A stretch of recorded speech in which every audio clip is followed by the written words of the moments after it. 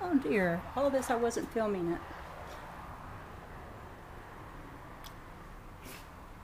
Now what is this you might wonder?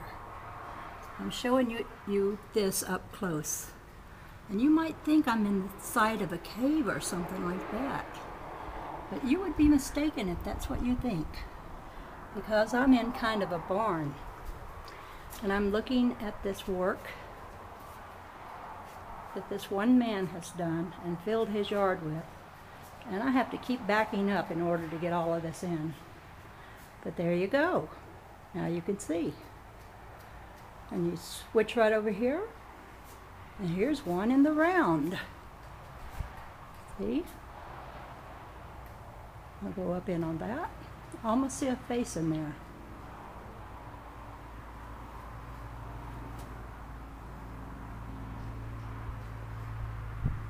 And many, more things I see here. Spirals, X's. Another big round one.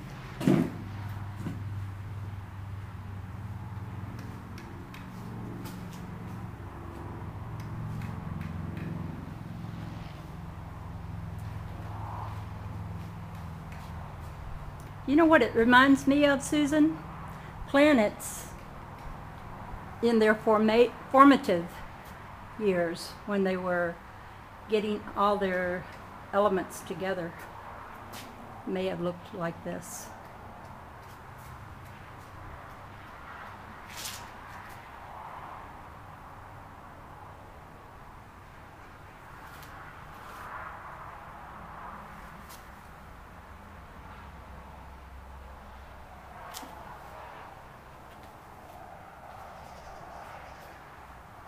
Now let's go over this way. But I sure want to get this one in right here. This is my favorite of all shapes. I use it a lot in the things I make with wire.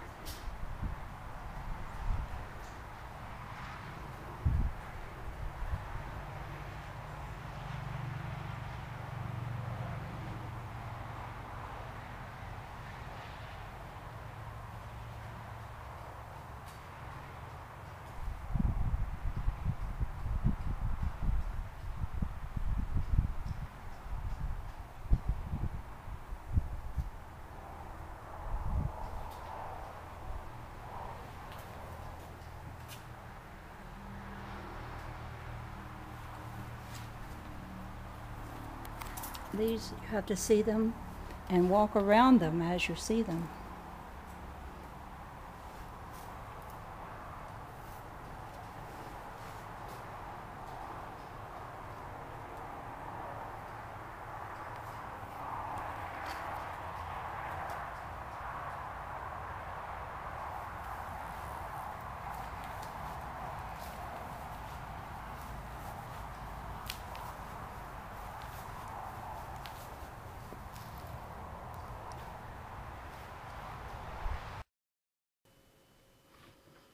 So this is his house, jo Johann's house.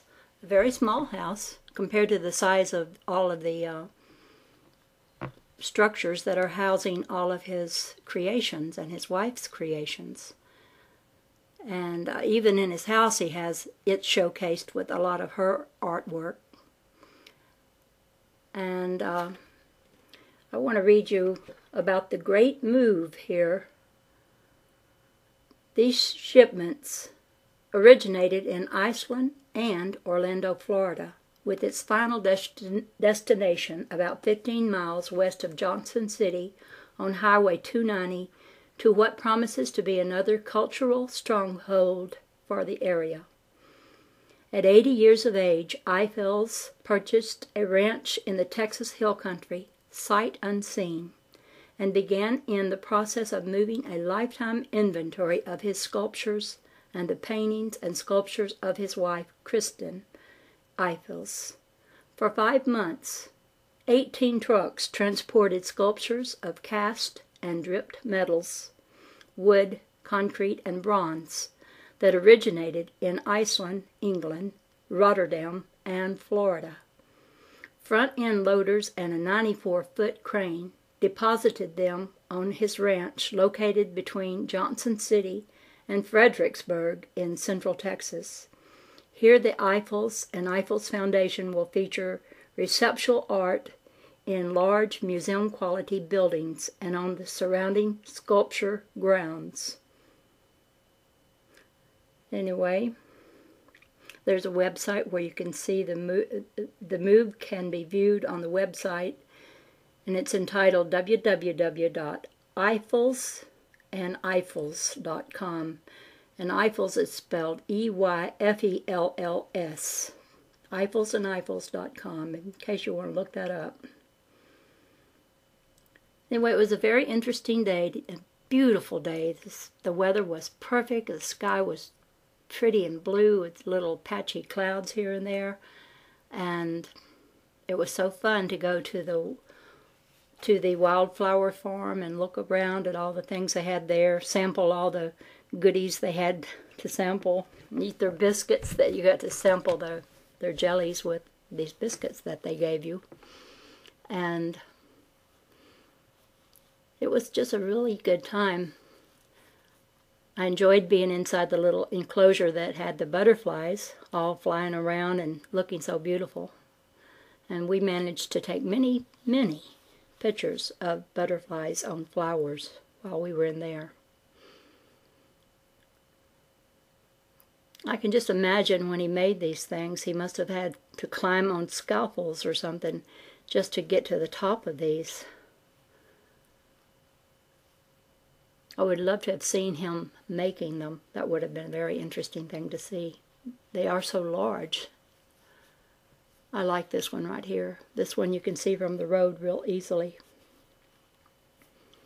And these next ones, these bone-looking ones, are the ones his wife had done.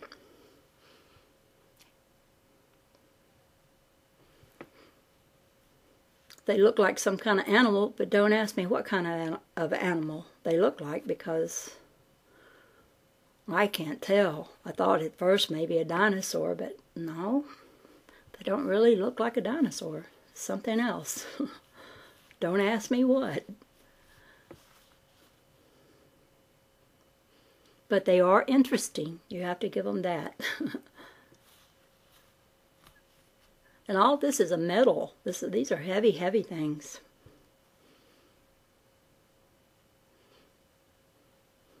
At first I thought, they were real bones. but then I thought, well, that would be awfully big bones. What would they be from? But they were just bone shapes, is what he told me, not real bones. This one looks like looking down from uh, uh, the air at the at the ground at mountains and lakes and things. And here's one that looks like a pyramid has a little tree growing in there. It's real neat. I like that pyramid one. That's another view of it.